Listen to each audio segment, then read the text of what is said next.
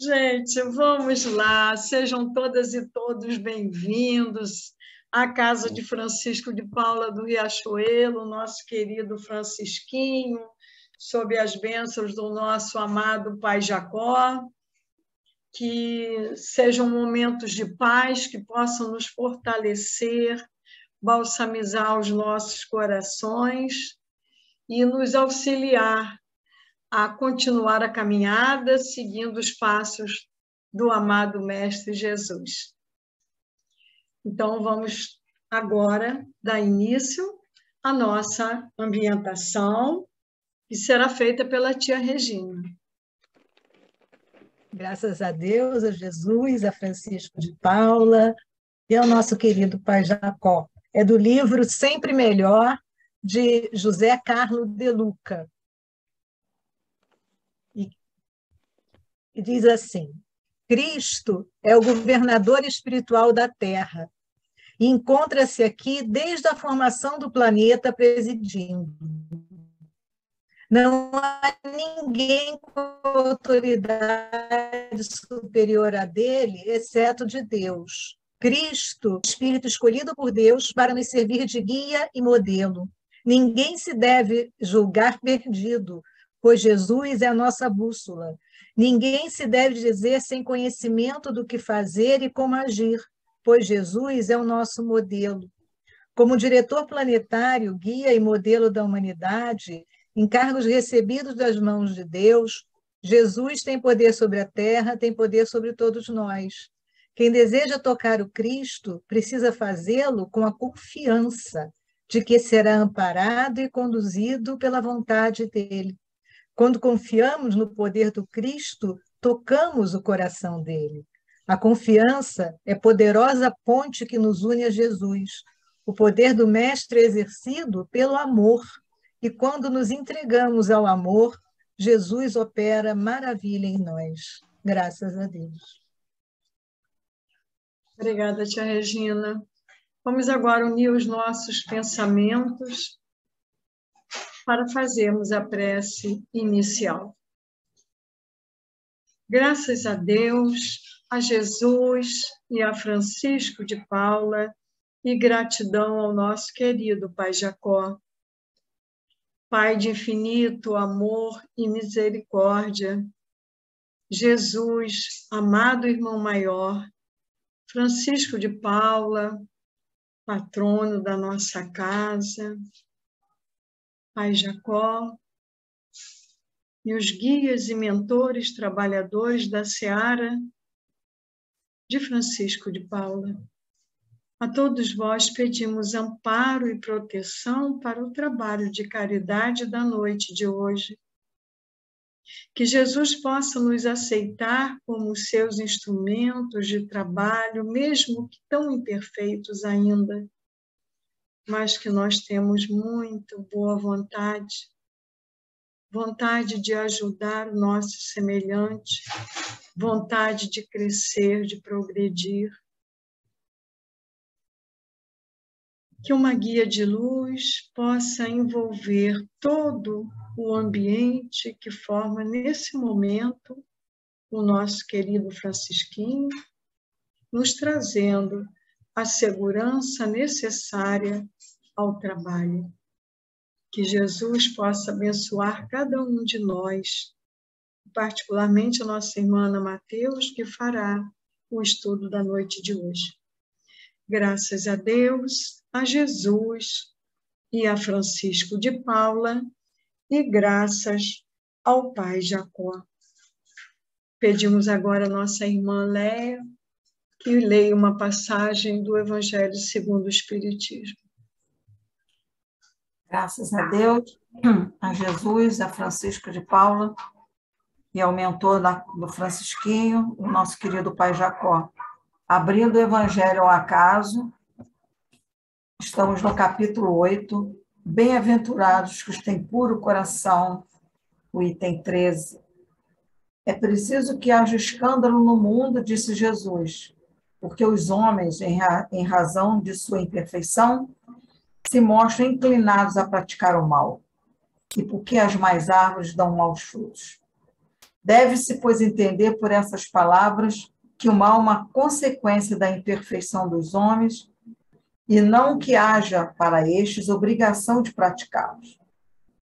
É necessário que o escândalo venha, porque, estando em expiação na terra, os homens se punem a si mesmos pelo contato dos seus vícios, cujas primeiras vítimas são eles próprios e cujos inconvenientes acabo por compreender. Quando estiverem cansados de sofrer devido ao mal, buscarão remédio no bem. A reação desses vícios serve, pois, ao mesmo tempo, de castigo para uns e de provas para outros. É assim que do mal Deus faz emergir o bem e que os próprios homens utilizam as coisas mais ou sem valor. Graças a Deus, a Jesus e a Francisco de Paulo. Obrigada, minha irmã, por essa leitura do Evangelho. E agora nós vamos receber nossa irmã Mateus, que fará o estudo da noite de hoje. Para ela, as nossas vibrações de muita luz, de muita paz, de muito amor. Seja bem-vinda, amada. Muito obrigada, querida. Gratidão por estar aqui. Agradecendo também Francisco de Paula e a Pai Jacó e hoje nós vamos estudar um pouquinho sobre o Evangelho, capítulo 22, é, que é o capítulo completo, que é o item de 1 a 5, né? Esse capítulo é bem pequenininho, é não separeis o que Deus juntou. E aí, hoje eu vou fazer um pouquinho diferente, né? Eu até pensei em trazer um vídeo, como eu gosto de trazer, né, dos nossos Amigos da Luz, uma música, mas eu não trouxe, não. Eu usei um material buscando alguma coisa em relação ao fator histórico. Eu vou pedir desculpa a vocês se eu esquecer de algo, né? embora eu tenha deixado tudo aberto aqui para consulta. E eu quero primeiro que a gente converse sobre esses itens. Eu vou ler aqui a primeira parte e nós vamos conversar um pouquinho primeiro sobre as questões da época em que Jesus estava aqui encarnado, então, das colocações históricas. E numa segunda parte, nós vamos lembrar, né, que todo o evangelho de Jesus é eterno, é imortal, e que nós vamos aprendendo com ele conforme nós vamos crescendo, né? Eu lembro que uma vez eu falei sobre isso, ah, ele vai se modificando. Não é ele que vai se modificando. Nós vamos modificando a nossa visão conforme nós vamos amadurecendo. Então, nós vamos conseguindo entender um pouco mais. E o quanto tudo isso que está colocado aqui, nesse capítulo do, do Evangelho, segundo o Espiritismo, tem aplicação na nossa vida de hoje, vai ter sempre, né? Nossa vida no futuro mas como nós podemos aplicar também na nossa, na nossa vida de hoje. Então, primeiro, nós vamos aqui ler é, o item 1, que são as referências bíblicas, né? Que é a passagem de Mateus, no capítulo 19, versículo 3 a 9, que diz o seguinte: Os fariseus vieram também a ele para tentá-lo, dizendo-lhe: é permitido a um homem devolver sua mulher por qualquer causa que seja? Ele lhes respondeu: Não lestes que aquele que criou o homem desde o princípio os criou macho e fêmea? E que foi dito por essa razão: o homem deixará seu pai e sua mãe, e se ligará à sua mulher, e não farão mais os dois senão uma só carne. Assim, eles não serão mais dois, mas uma só carne, que o homem, pois, não separe o que Deus juntou. Mas por que, pois, disseram-lhe, Moisés ordenou que se desse à mulher uma carta de separação e que fosse devolvida. E ele lhes respondeu: Foi por causa da dureza do vosso coração que Moisés vos permitiu devolver vossas mulheres mas isso não foi desde o princípio. Também vos declaro que todo aquele que devolve sua mulher, se não for em caso de adultério, e esposa outra, comete adultério, e que aquele que esposa a quem o outro devolveu comete também adultério. E aí nós vamos conversar um pouquinho primeiro sobre essa passagem, depois a gente vai se adiantar aqui para a questão do divórcio. Então, queridos, naquela época, a sociedade era uma sociedade patriarcal, né? baseada é, na continuidade da família. Então, uma família, para realmente ser forte, poderosa, ela precisava ser uma família numerosa, né? Havia uma divisão, assim como hoje ainda acontece, a gente sabe que o poder, a riqueza ainda ainda está na mão de alguns. Isso acontecia naquela época, né?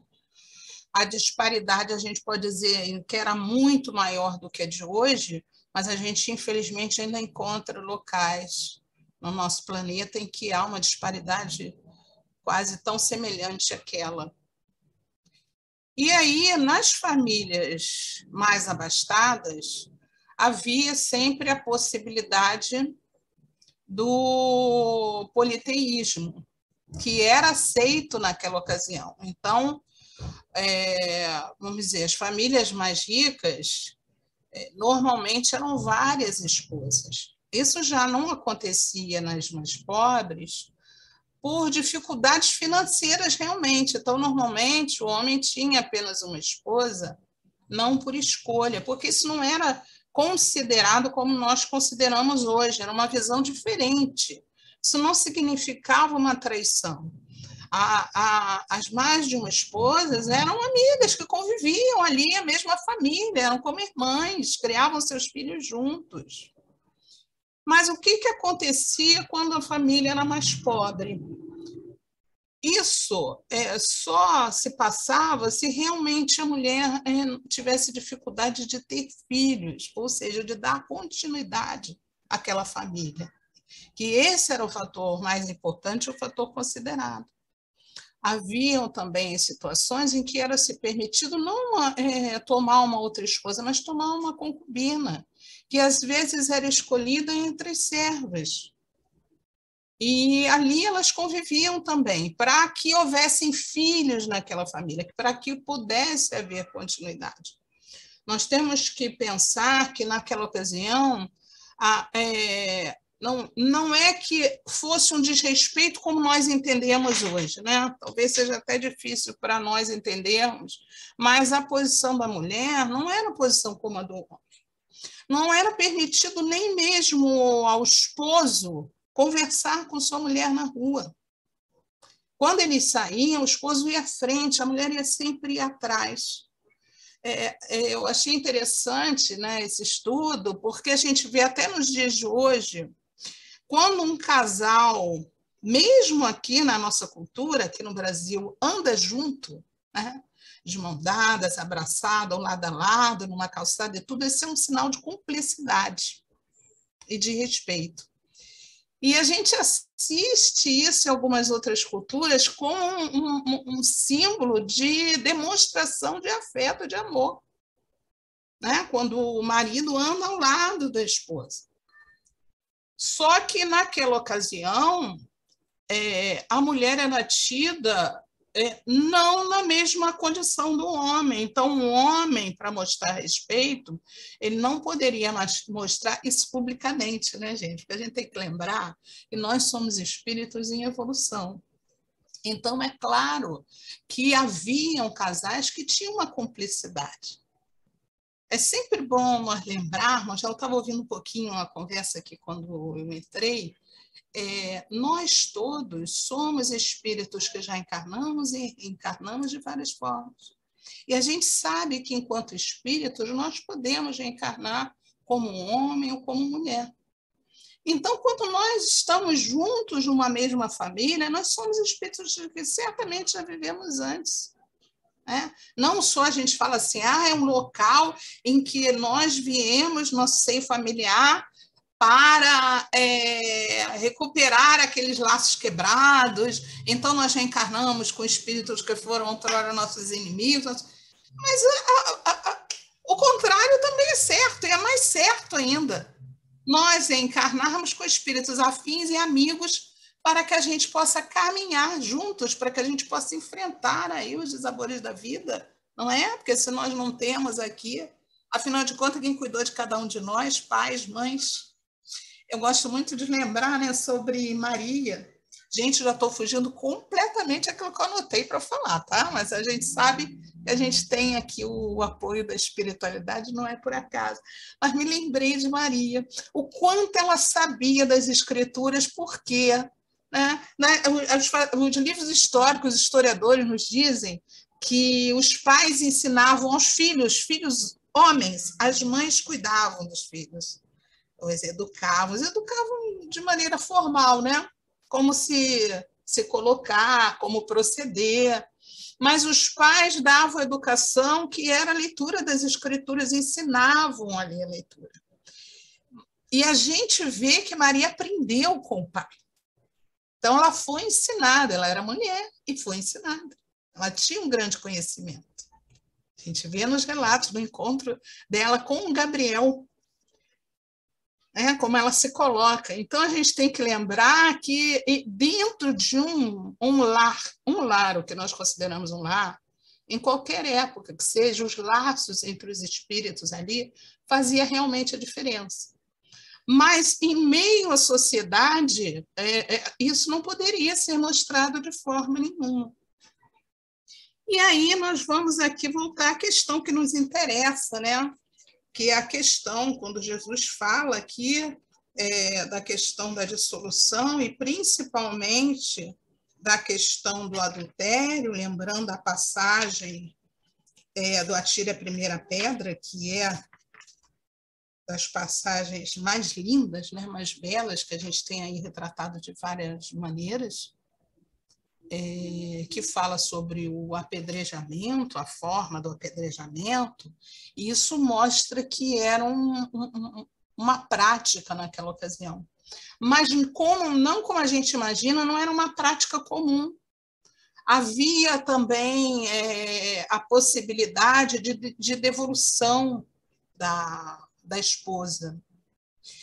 E o que, que, que nós podemos imaginar? Né?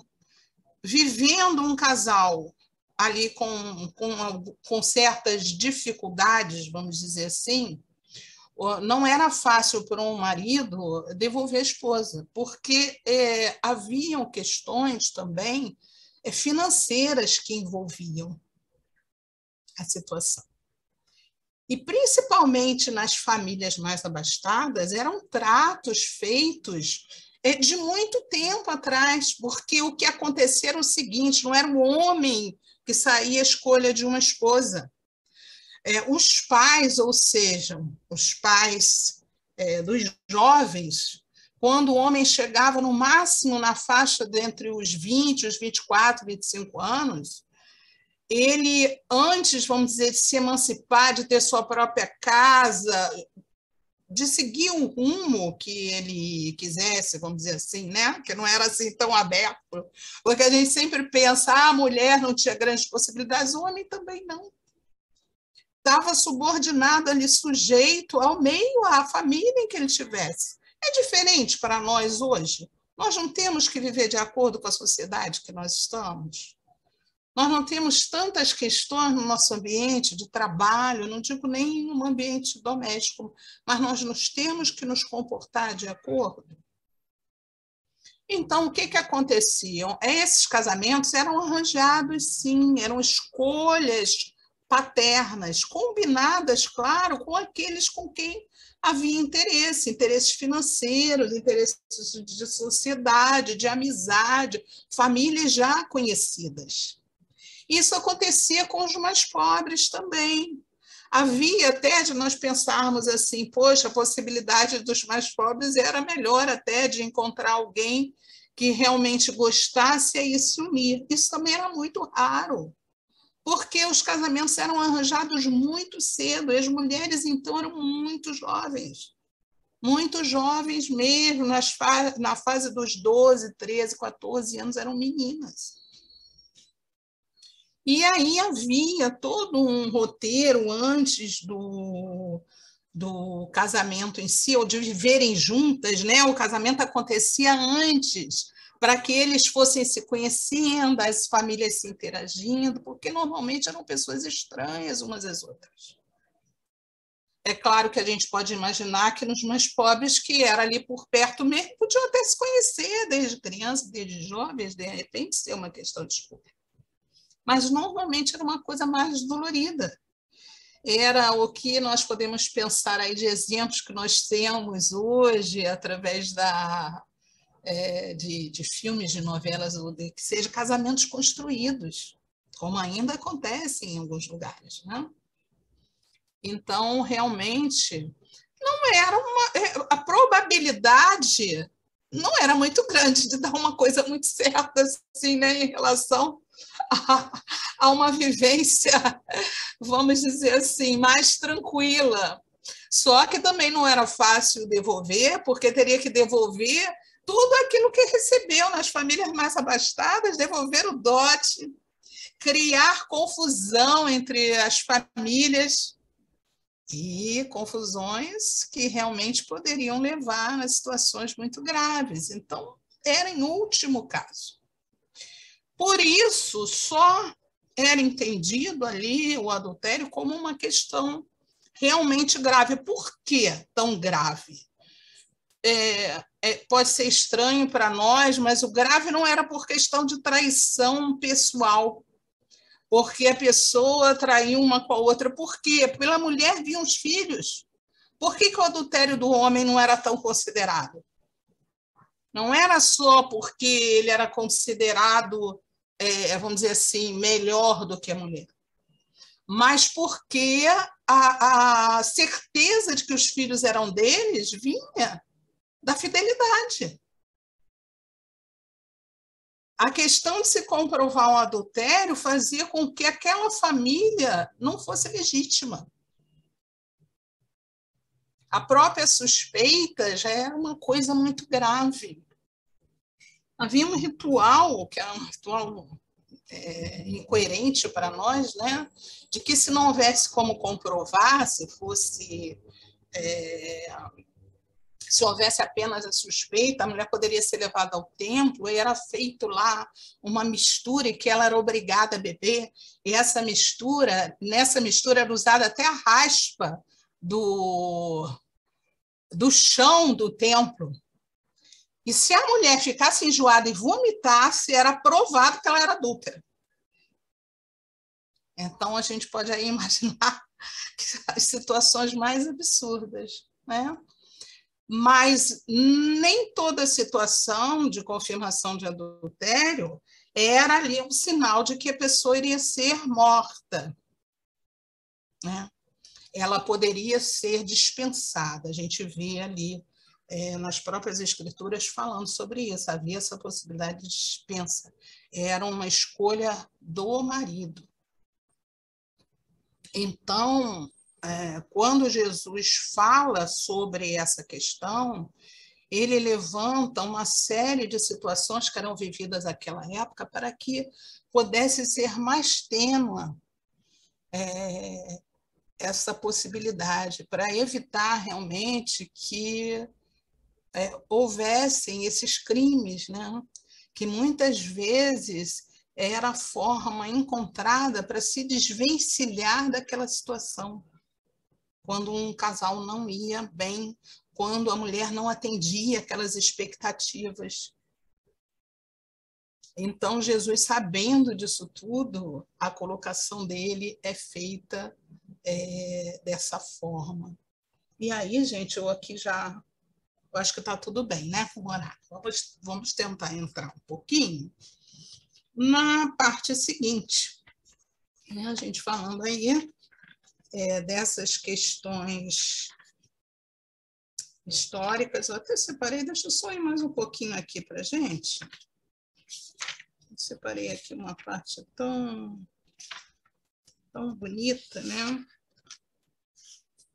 Que é falando também de como é, era importante também como a mulher podia ser considerada, né? Aqui tem uma passagem que é colocada aqui do Eclesiástico, que é 26, de 1 a 4, que fala o seguinte: ó, feliz o homem cuja esposa é fiel e coroa sua vida de paz. Prospera aquele que tem boa mulher, onde os homens são tementes a Deus, esta é a recompensa de seu serviço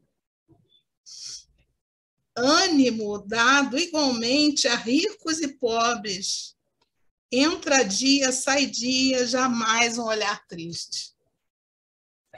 Eu achei isso aqui muito interessante. Né? A gente tem é, uma série de relatos. Se vocês tiverem vontade de conhecer, deixa eu mostrar para vocês um pouquinho onde foi que eu peguei. Né? Hoje eu estou muito feliz, olhando que a minha irmã está aí, a minha filha também.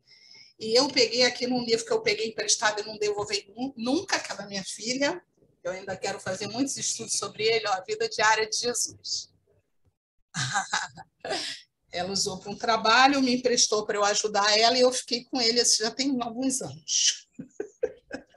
então, é sempre um bom livro de estudo, de consulta. Ele não é espírita, é um livro de um historiador, eu acho até que ele é protestante, mas isso é indiferente, porque é um material muito bom para pesquisa. Eu já usei assim para vários estudos. Depois eu posso até colocar a capinha dele lá, mandar para a tia Leia, para a tia Aurora aí, para colocar lá no grupo, tá bom? Se vocês quiserem conhecer. E aí, queridos, eu quero ir para outra passagem aqui do nosso evangelho, eu quero fazer leitura, que é o item 4. O item 4 diz o seguinte, ó, a lei civil é, pois, supérfluo. E é preciso retomar ao casamento segundo a natureza? Não, certamente. A lei civil tem por objetivo regular as relações sociais e os interesses da família segundo as exigências da civilização. Eis porque ela é útil, necessária, mas variável deve ser previdente, porque o homem civilizado não pode viver como selvagem. Mas nada, absolutamente nada, se opõe a que seja o corolário da lei de Deus. Os obstáculos para o cumprimento da lei divina resultam dos preconceitos e não da lei civil. Esses preconceitos, se bem que ainda vivazes, já perderam seu império entre os povos esclarecidos.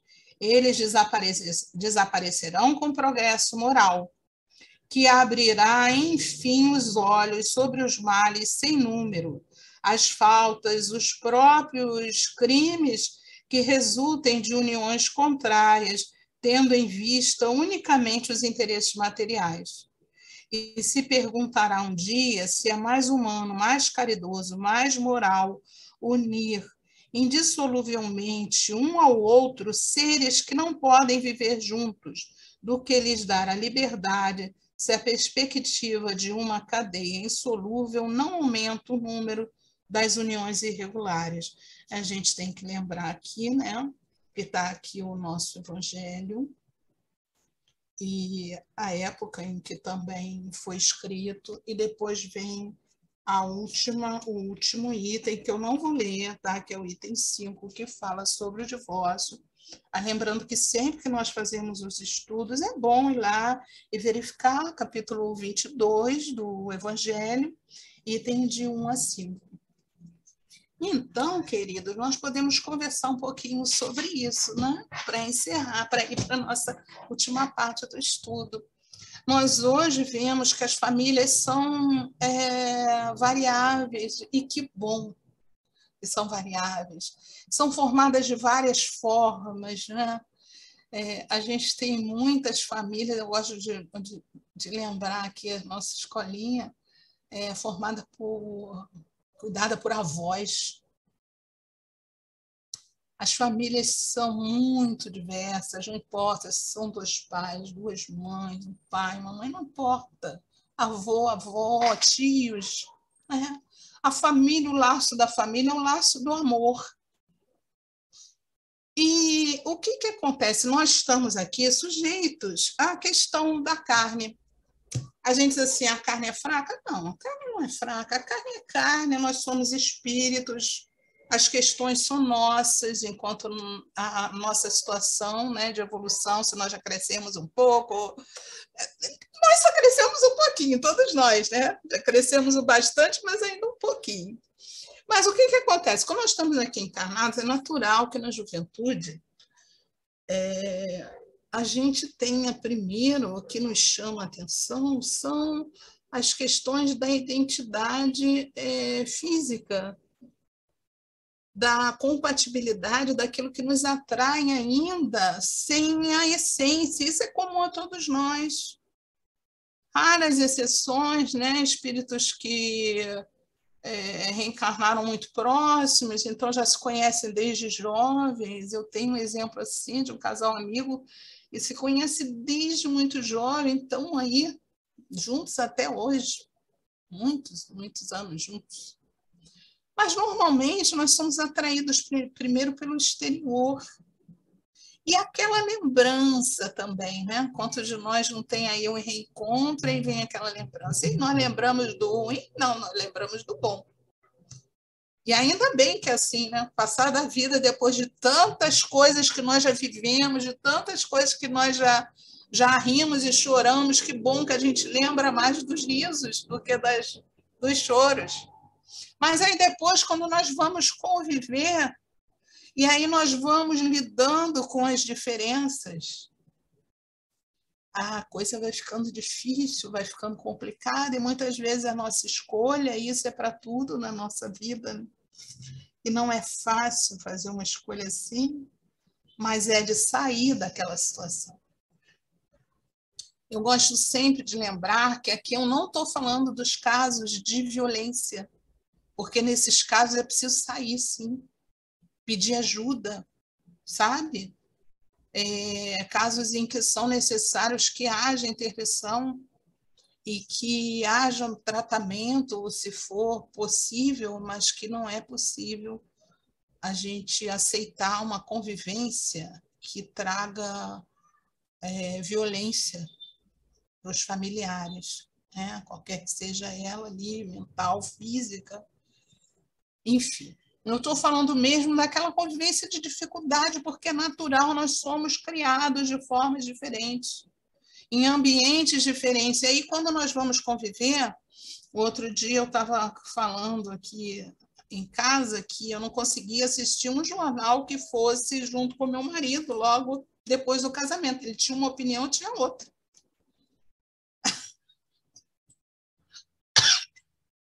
às vezes a gente tem, a gente não quer ouvir, né? A gente quer impor a nossa ideia. Não é assim? A gente fica feliz quando concorda com a gente. Que bom que você pensa do mesmo jeito que eu. Se pensa diferente, primeiro tem dificuldade até de ouvir o que o outro está falando. Porque eu já tenho a minha concepção. Eu não estou aberta à discussão.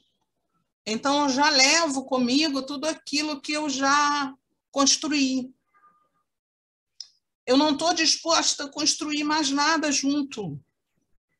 Eu lembro uma vez que eu li um, um artigo do Eduardo Mascarenhas há muitos anos, lá pelos idos anos 80. E ele disse uma coisa que eu, eu nunca mais esqueci, que ele dizia o seguinte, um casal se une e o homem normalmente ele quer que a esposa permaneça aquilo que ele conheceu. Mas não tem como, a mulher muda. Com casamento é natural, todos nós mudamos. É, principalmente no caso da mulher, quando vem outras obrigações, né? Eu lembro que a primeira coisa que eu fiquei feliz quando eu me casei é que eu podia arrumar a casa do meu jeito. Minha irmã está aqui, que não me deixa mentir. A gente tinha mania de mudar a casa o tempo inteiro. Minha mãe muitas vezes não gostava. Mudava os móveis todos de lugar, depois ela dizia: Eu quero tudo de volta no mesmo lugar. E aí a primeira coisa que eu pensei, opa, eu vou arrumar do jeito que eu quiser. Olha só que bobeira, que infantilidade. Eu era muito jovem também, mas é. Pensei logo nisso. Não, eu vou fazer do meu jeito. Mas aí vem as obrigações também, né? Eu não tinha mais a mamãe que eu chegava do trabalho, ia tomar banho, ela dizia, filhinha, ó, o jantar está pronto, vou fazer seu prato, olha que bonitinho. Não tinha mais nada disso. Enfim, muita coisa muda. Se vem a maternidade, então muda mais ainda, a responsabilidade cresce. E com a mulher, ele dizia o seguinte: com a mulher já acontece o contrário. Normalmente ela se une a um homem pensando, ah, ele vai mudar, ele vai ser aquele que eu espero que seja. Não, eu não vi. A pessoa, olha só o extremo. E aí não muda. É claro que muda, mas não muda nessa proporção, não é, não existe um. É, é, é sempre interessante a gente ver, ninguém cai de um pedestal que nós não tenhamos colocado lá. Quem cria esse pedestal somos nós, não é o outro. Tem uma tirinha da Mafalda que fala isso. Que a mãe vai brigar com ela e diz assim: Puxa, filha, eu esperava mais de você. Ela diz assim: mamãe, quem esperava era você. Eu, eu nunca disse. A senhora para esperar nada disso de mim. Não é? A gente coloca. Então, realmente. E às vezes, diante das primeiras dificuldades, nós vamos criando novelos como é que é feito um novelo? Não é uma linhazinha que a gente vai enrolando e ela vai crescendo, e ela vai crescendo, e ela vai crescendo. E aí, de repente, fica aquela bola de pelo do gatinho que ele tenta botar para fora e aquilo não deixa respirar. Que ninguém conseguiu conviver, conversar, sentar, realmente falar. E às vezes tem coisas, eu lembro que eu dizia assim, ah, nem tudo se deve falar. Não, é verdade, nem tudo se deve falar. Tem coisas que são tão bobas, tão, são tão pequenas, a gente faz questão de, de contar. Eu tenho um arrependimento até hoje. Vocês vão rir disso, mas é um arrependimento que eu tenho. Eu peguei minhas é, fotinhas de, de amigos, de ex-namorado, cartinha, não queimei tudo antes de casar. Falei, eu não vou levar nada disso para minha casa. Meu marido era muito ciumento. Eu... Hoje eu penso, por que eu fiz isso?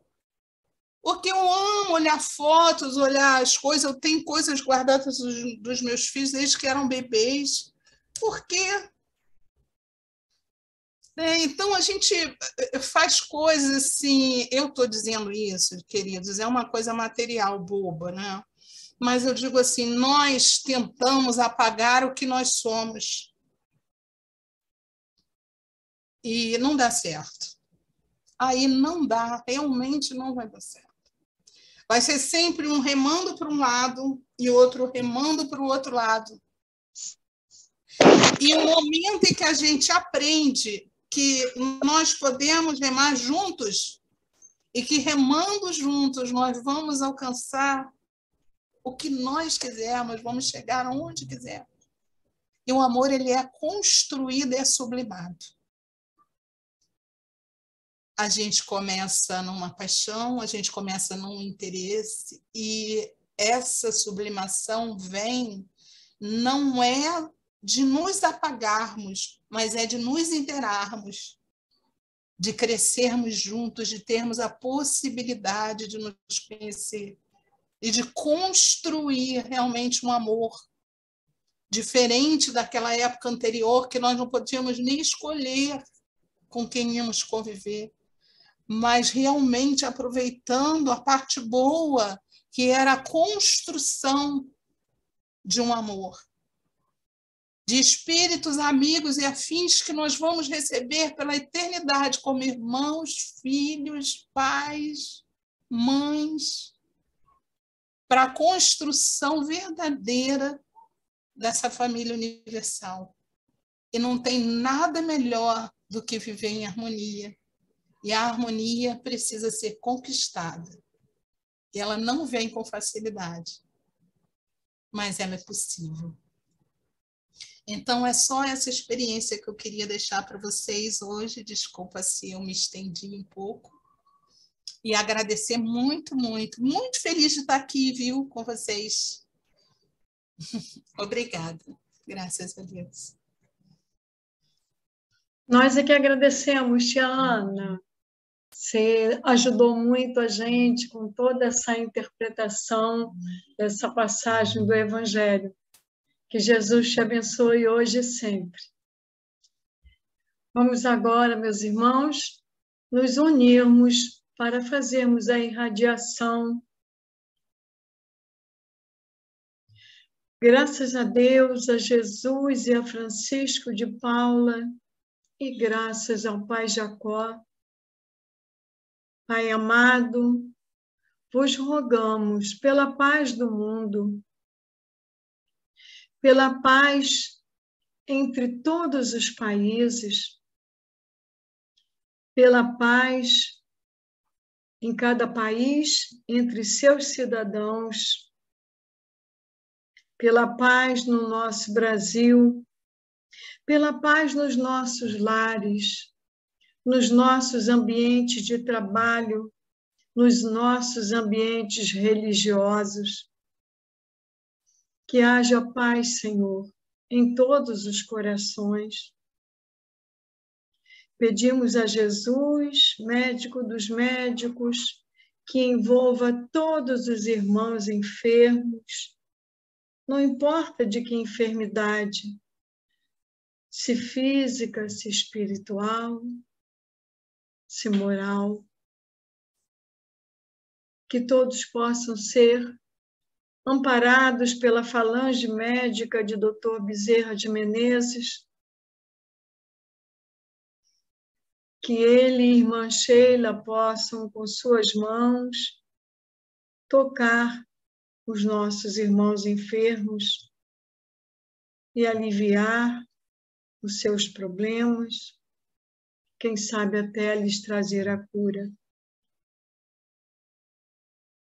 Pedimos, Senhor, por todos os nossos familiares, nossos amigos, pela casa de Francisco de Paula, que haja paz, que haja harmonia entre todos que a compõem. Abençoa, Senhor, o nosso querido Francisquinho. Abençoa o lar de Francisco. Enfim, Senhor, em vossas mãos colocamos todos os nossos irmãos que sofrem, os nossos irmãos que vagam pelas ruas, os que estão em presídios, os que estão em abrigos, os que estão em asilos, os que estão em hospitais ou nos lares. Conforte a cada um, fortaleça-os e que onde houver uma lágrima sendo derramada, haja um franciscano amigo para confortar, para infundir fé e esperança. Graças a Deus, a Jesus e a Francisco de Paula, e graças ao querido Pai Jacó. Pedimos agora a nossa irmã Denise que faça por todos nós a prece pelos irmãos desencarnados. Imbuídos dessa harmonia, após essas as palavras da nossa irmã, a irradiação, Pai querido, Pai amado, pedimos pelos nossos irmãos que já partiram para o plano invisível pelos nossos irmãos desencarnados que não sabem que fizeram a passagem e que estão perdidos, perambulando. Eles possam perceber uma mão amiga, querida, dos amigos espirituais, segurando em suas mãos, meus irmãos, estão perdidos, tristes, se sentindo injustiçados, incompreendidos, atormentados. Pedimos também para aqueles irmãos nossos que perderam a esperança porque foram expulsos dos ventres maternos, acreditando que não terão novas oportunidades. Que esses irmãos também sintam que terão sim novas oportunidades. Pedimos por aqueles irmãos, os nossos irmãos, que no momento de exasperação, de desespero, tiraram sua própria vida. Pedimos para aqueles irmãos que estão necessitando muito todos os irmãos desencarnados, de todos os povos, que eles possam perceber nesse momento que são amados, que são respeitados e que são compreendidos, sim, em suas dores morais e espirituais. Pedimos pelos nossos amores também. Por fim, Mãe Maria Santíssima, derrama o seu manto de luz de amor e que uma grinalda linda, dourada, possa assambarcar, cair, envolvendo todos esses nossos irmãos em Ti, Jesus. Obrigada, muito obrigada, Senhor. Louvado seja. Graças a Deus, a Jesus, a Francisco de Paulo, ao querido Pai Jacó. Que assim seja. Graças a Deus. Graças a Deus. Vamos pedir agora à irmã Luísa que faça a prece de agradecimento por todos nós. Graças a Deus, a Jesus e a Francisco de Paulo. Pai amadíssimo, gratidão imensa por esse banquete maravilhoso de aprendizado, de harmonia e de tanta luz. Gratidão, Pai, por essa oportunidade de estarmos aqui reunidos nesse momento, recebendo tanto benefício, Pai e que essa luz, que essa emoção que estamos sentindo possa nos acompanhar durante toda essa semana, nos ajudando nos momentos necessários. Gratidão, Pai, por esse momento aqui, Francisquinho. Gratidão imensa a todos. Graças a Deus, a Jesus e a Francisco de Paulo.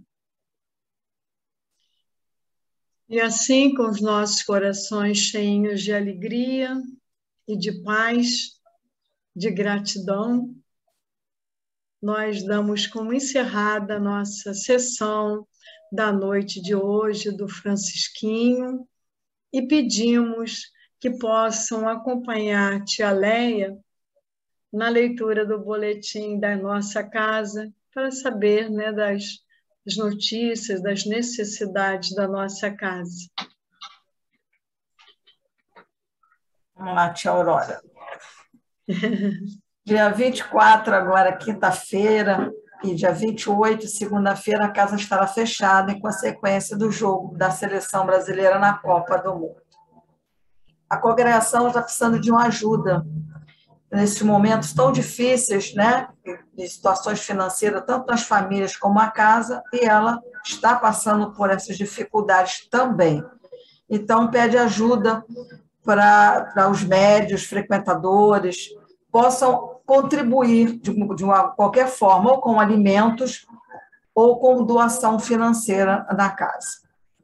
As preces coletivas já estão abertas, né? Vão ser sempre as primeiras segundas-feiras do mês, no horário de 18h30, no salão do segundo andar.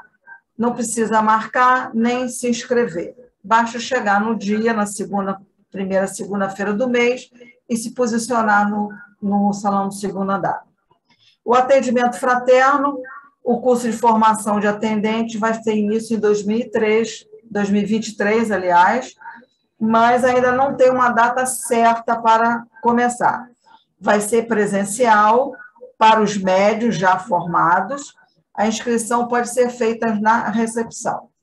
Estamos com a sessão de psicografia, que é todas as terças, as, são feitas somente restrita aos médios.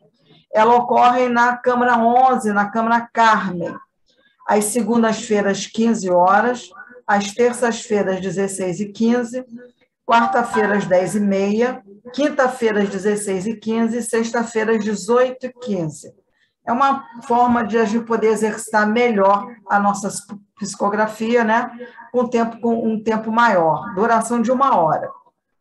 O passe infantil é realizado na sessão dominical das 15h30, junto com a evangelização. Os outros dias, o passe é realizado durante as sessões públicas. A biblioteca e a livraria já está funcionando, ainda com horários restritos. Está das te às terças-feiras, das 8h30 às 20 horas.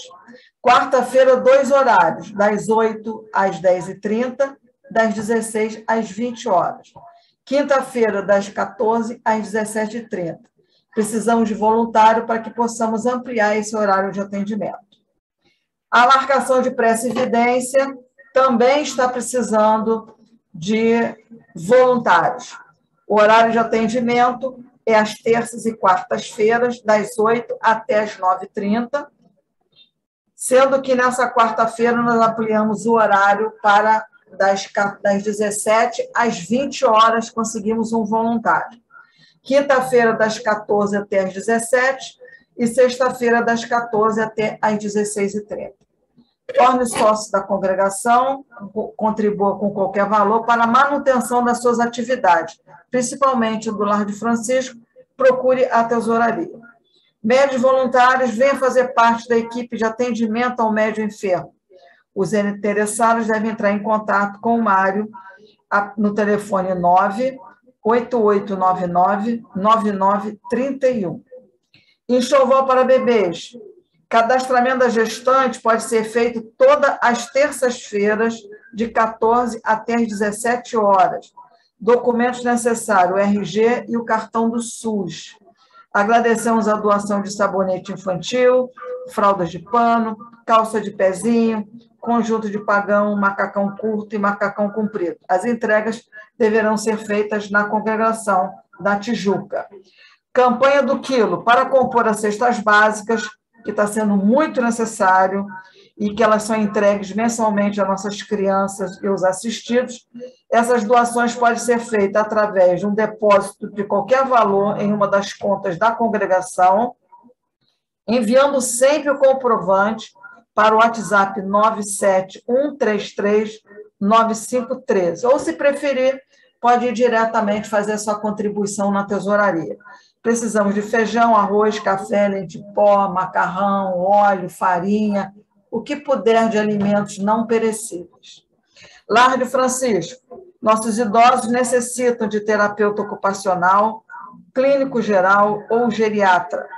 Agradecemos sempre as doações que são feitas: doação de gás, algodão, atadura, pomada Dersane, fraldas geriátricas de tamanho G, EG e XG e de luvas de látex tamanho MG, roupa íntima G e EG, tanto feminina como masculina, esparadrapo de micropore.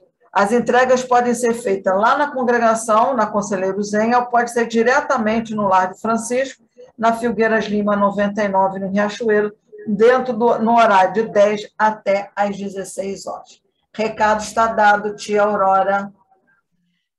Obrigada, Tia Légia, e obrigada a todos que aqui estão. Que Jesus possa estar nos nossos lares, nos nossos corações, nos confortando e nos fortalecendo. Beijinho no coração Boa de noite. cada um.